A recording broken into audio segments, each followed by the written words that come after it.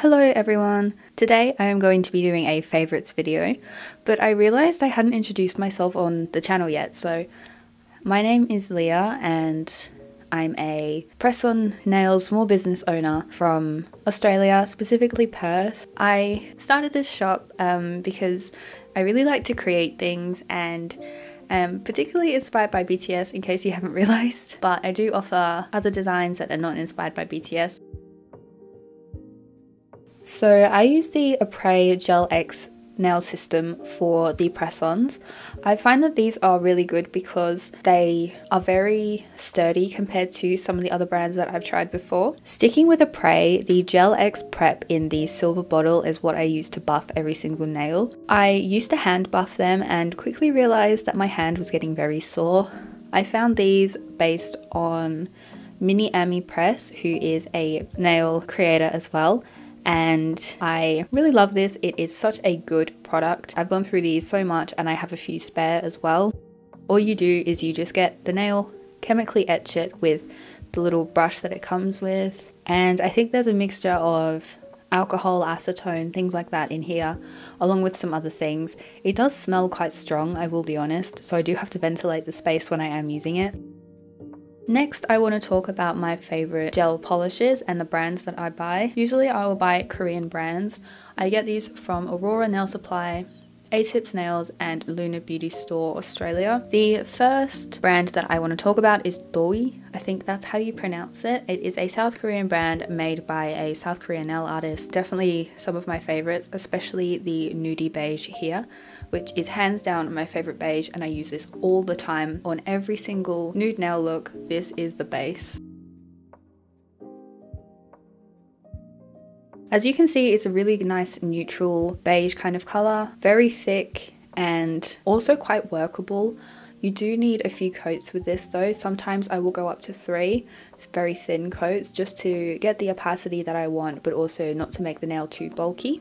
The Nudie Pink is similar, just a little bit darker and a little bit more rosy coloured compared to the Nudie Beige, but I also really love this colour. And in the Nudie Gel range, they have colours like peach and green, blue, very soft colours. These are a lot thicker in my opinion, as you can see, very, very thick and also a bit more opaque, but also still really good and very workable. I do also like these a lot and would recommend them. If you're wanting some nice neutral colors, I would highly recommend this brand. They also have things like magnetic gel, which I will show you in a minute. This is the magnetic gel, so this is the plain silvery color. It is quite fine in its pigment. It has a little bit of glitter, not as fine as some of the other ones that I've used before, but definitely less glittery than one of the other ones that I really, really like. I've repurchased this a few times and I use this for designs like Daechwita and Love Me Again. I tend to use milky white nail polishes as a base in quite a lot of my nail sets. I just find that it is a lot softer compared to the stark white of an opaque white nail polish. So these three are my favorites. If you have watched any of my videos before, you will know that I have repurchased this Yogurt Gel Korea nail polish so many times this one is the Wedding Shoes colour and it is from the Cherry Blossom Ending collection. It is a very nice soft white but isn't too thick or anything like that. Definitely one I absolutely love. The only thing about this is that it is 8 milliliters which is quite small really for how often I use it.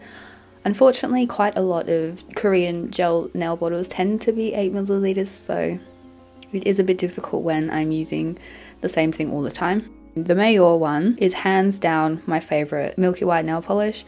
Again, an 8ml bottle, but it has this really cute cap. Not that it affects anything, but I just think it's really quite sweet. This one is pretty much out if you can see.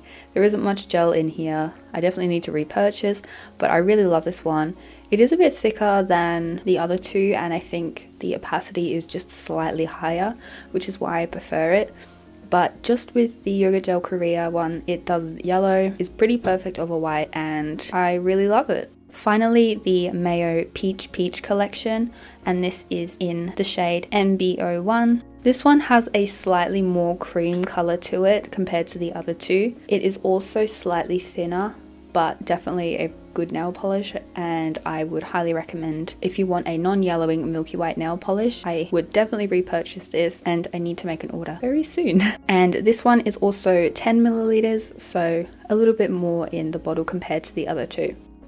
The next brand that I want to share is called Jinbee they are another South Korean nail brand. Jinbee is really great. They were actually the first nail set company that I ever bought from. I think the formula is really nice, it's quite thin and it self-levels really well. Definitely perfect for beginners.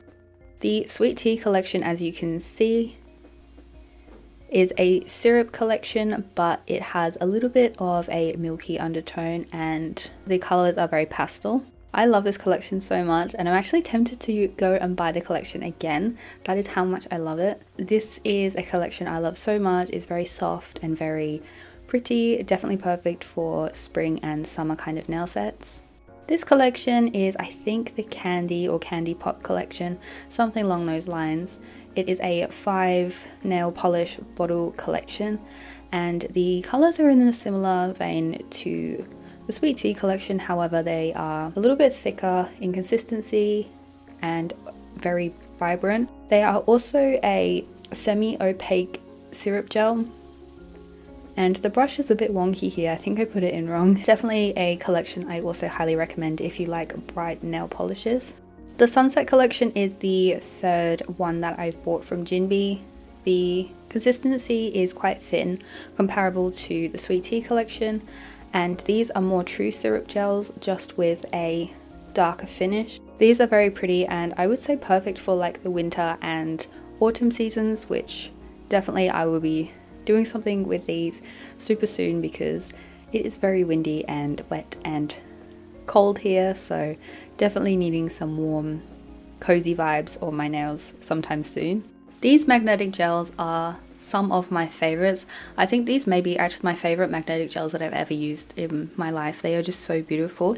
This is from the brand Gel and Gel. I think they are a relatively new South Korean brand that has just come out and I really love their products. I'd say they're a little bit more glittery compared to some of the other magnetic gels that I own, but the bases of them are so beautiful and definitely give the illusion of like stars in the sky. They are just that pretty. I cannot recommend these enough. They are slightly thick but not to the point where they're not workable. Gentle Pink is another brand that I also recommend.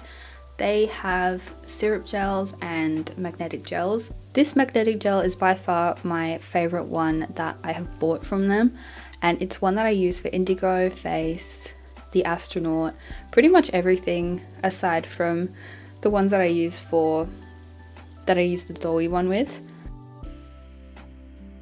As you can see, it is quite a glittery formula. This I really like because it again gives the illusion of like stars and I think it just creates a very pretty kind of effect on the nail. But the same range also offers a more finer magnetic particle such as this shade here. And as you can see, the magnetic particles are very fine, giving an almost velvet-like finish. This is also very pretty. I would say that the formula is quite soft to work with and self-levels quite nicely as well. Their syrup gels are absolutely incredible in my opinion and I really love them. They're thin enough that they don't take too long to self-level but they also are not too thin that they run everywhere. As you can see they are quite runny in comparison to some of the other gels that I've shown and I would say that these are perfect for beginners if you wanted to get into syrup gels. Devok is another brand that I really love. It is another South Korean brand, but I would say it is a little bit more expensive, at least on my end in Australia, compared to the rest of the brands that I've shown so far. They are really good quality though, and I would definitely say that they are worth the little bit extra. And the collections that I have of them that I really, really love the Marble Fit collection, which is kind of like blooming gel but not. These are very inky products that you put on the base that it comes with and it will disperse it really nicely. I use them for Daechwita here and you can see the black is that smoky effect which I use the Marble Fit gels for. Their Cherry Blossom collection is absolutely beautiful in my opinion and this is the glitter syrup gel that it comes with. One of my favorites and absolutely perfect for spring and summer. The formula of this is very, very soft to work with again, definitely not too thick, and self levels really nicely. Finally, the New Moon collection. This is what I have on my nails right now. And it is just a beautiful magnetic gel collection. I will say that the formula is a lot thicker compared to the Cherry Blossom collection, but it has a really sweet iridescence with every single colour that really complements the base colour beneath it. Very gorgeous and very fun magnetic gels. Next on to glitter gels.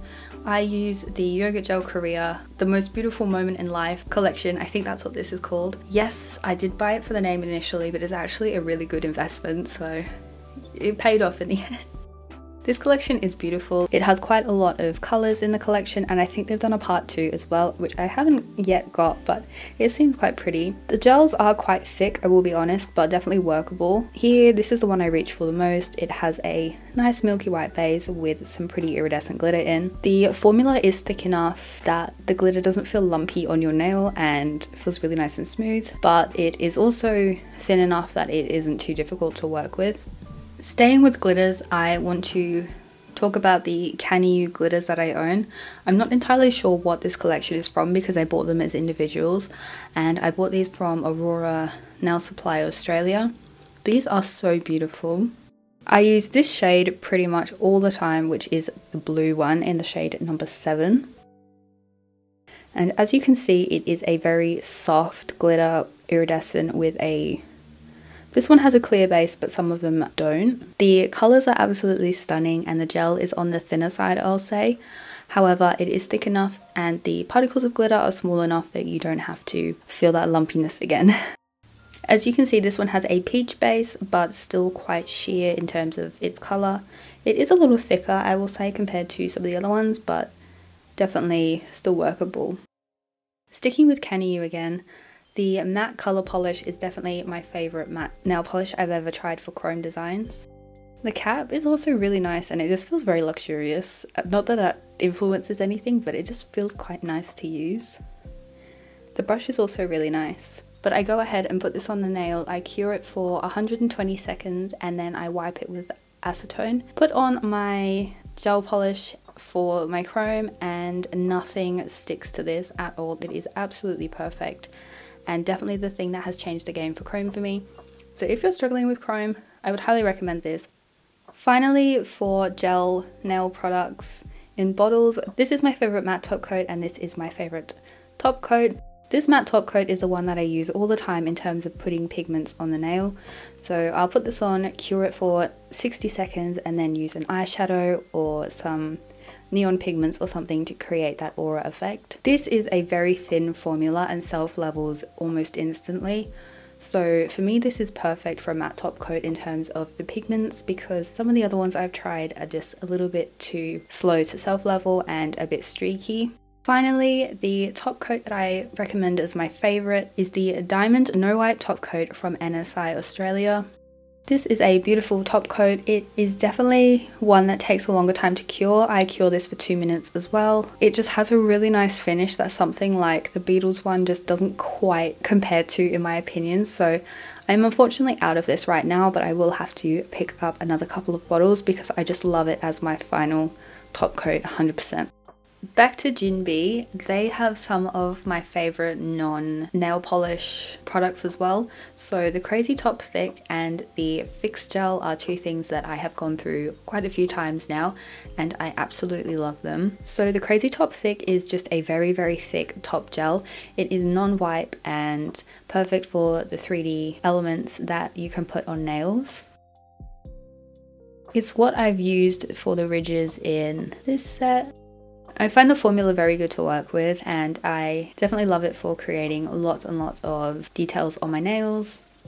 I use it pretty religiously and I also use it to mix with my MPA palette which I'll show you in a minute just to create a thicker texture for my gels. Next I want to talk about the Fix Gel. This is the clear Fix Gel from Jinbei and it is perfect for adhering anything like rhinestones, chains, pearls, any small alloy charms or anything like that.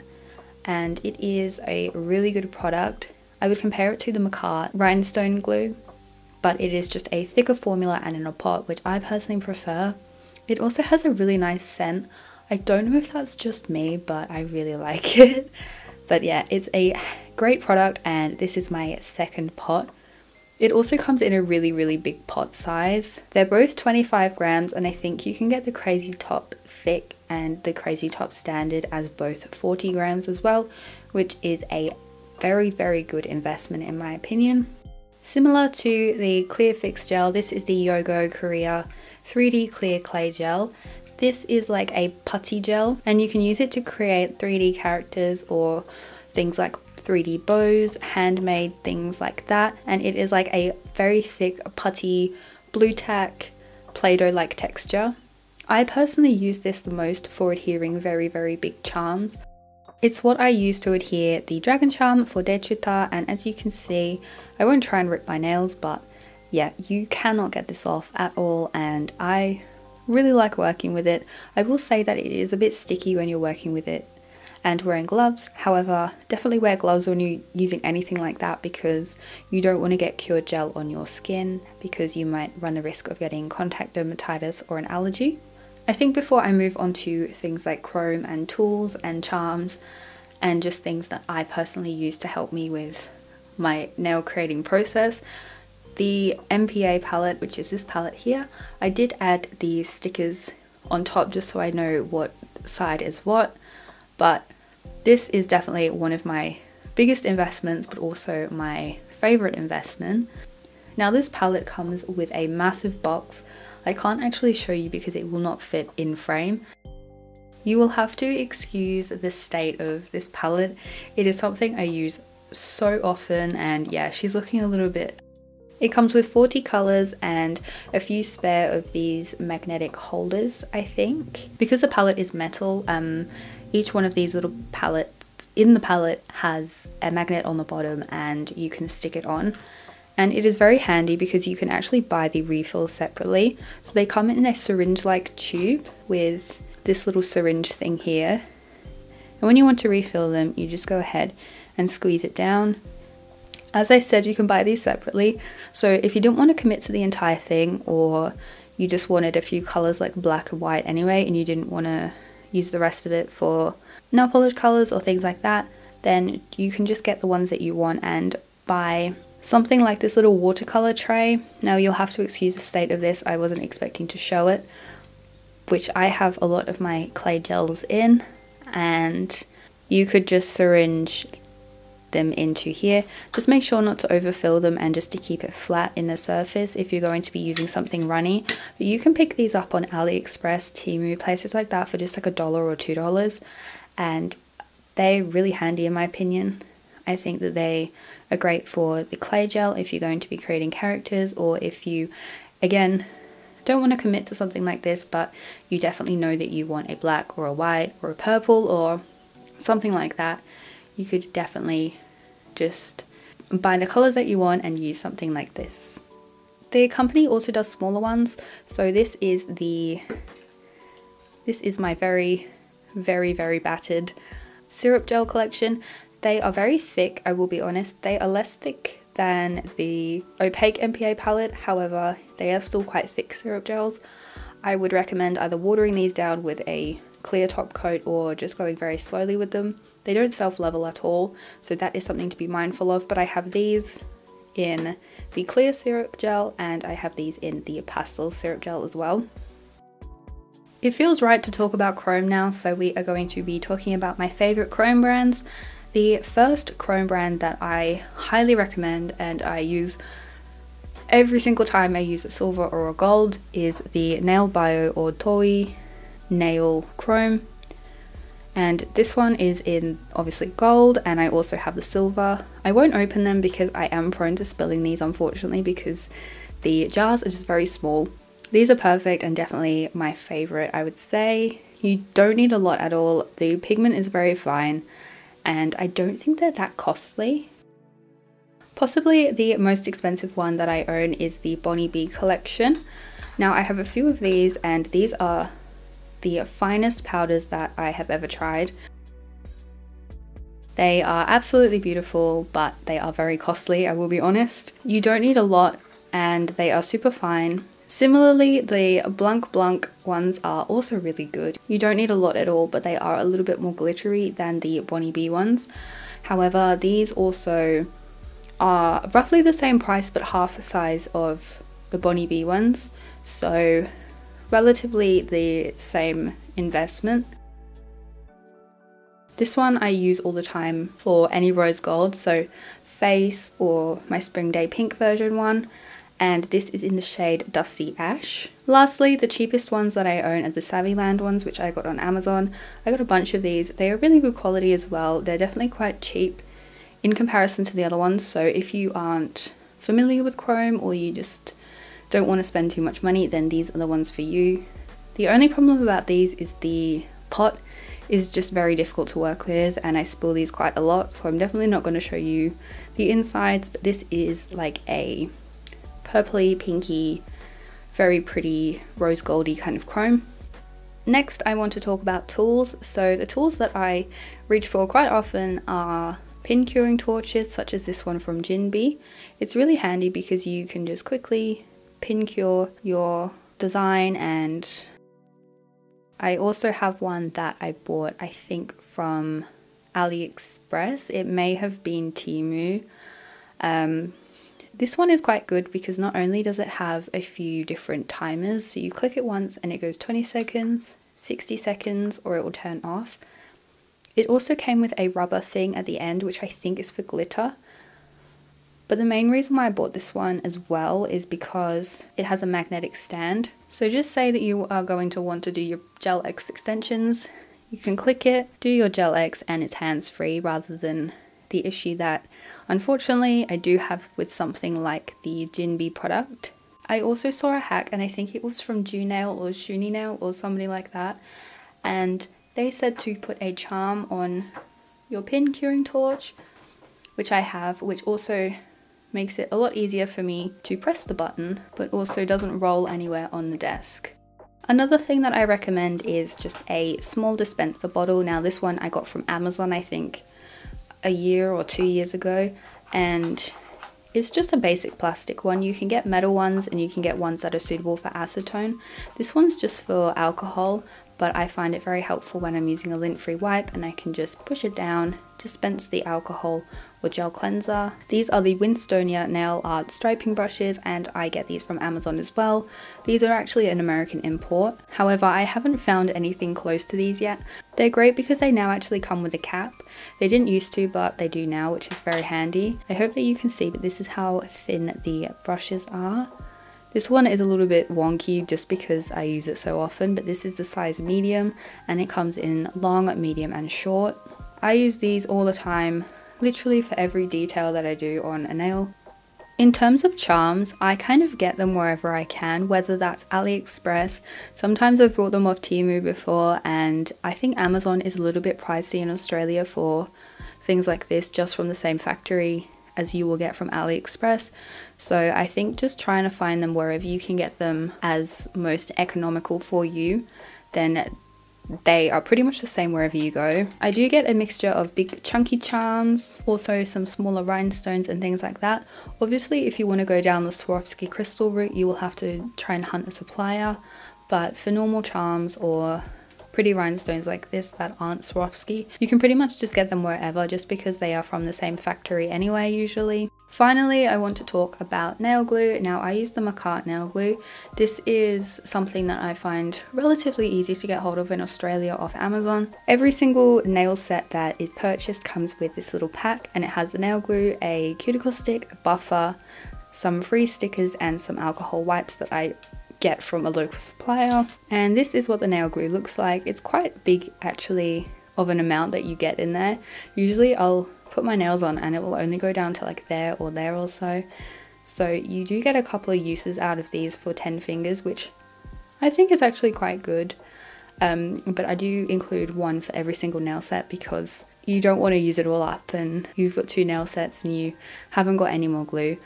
But if you do buy from me, you don't need to use this. You can use whatever you like. You can use the nail tabs that we send, or you can also just use whatever nail glue that you prefer anyway.